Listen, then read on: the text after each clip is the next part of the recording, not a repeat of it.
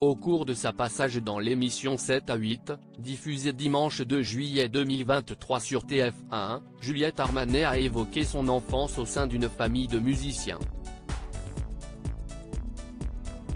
Désormais mère, elle veut transmettre à son fils cette passion familiale.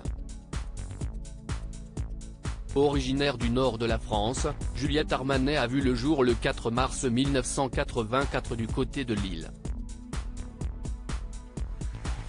Devenue depuis peu l'une des nouvelles vedettes emblématiques de la scène de la scène musicale française, la chanteuse s'est révélée au grand public en 2017.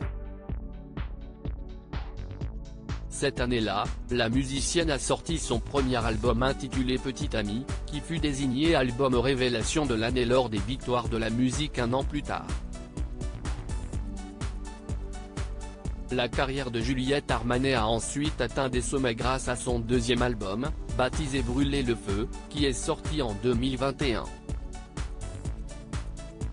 Un disque au sein duquel la chanteuse interprète plusieurs des titres à succès, au premier rang desquels on retrouve le dernier jour du disco. Si Juliette Armanet est devenue musicienne, si est avant tout grâce à sa mère, qui lui a appris le piano durant son enfance, mais également grâce à l'ensemble de sa famille de mélomanes.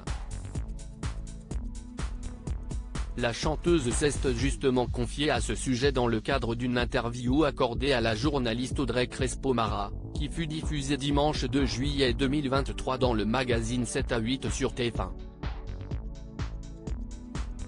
La musique dans votre famille si est une histoire de transmission. Vous dites que vous êtes quasiment né dans un piano, a lancé l'intervieweuse à son invité, qui a répondu par l'affirmative.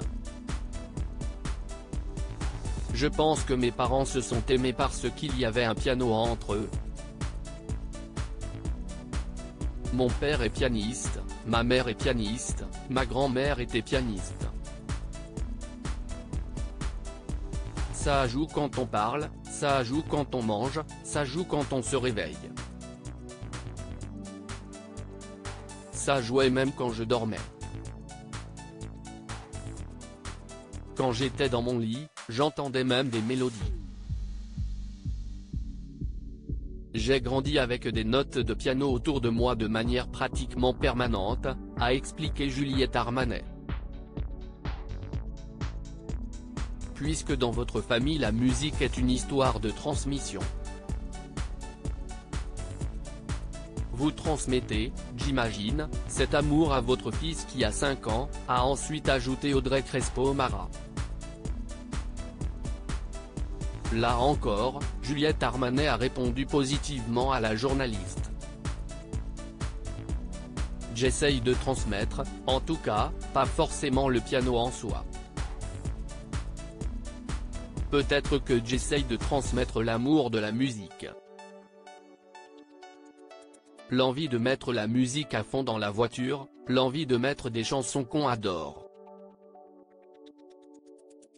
Se dire que la musique si est un art sans lequel on ne peut pas vivre, a indiqué la chanteuse.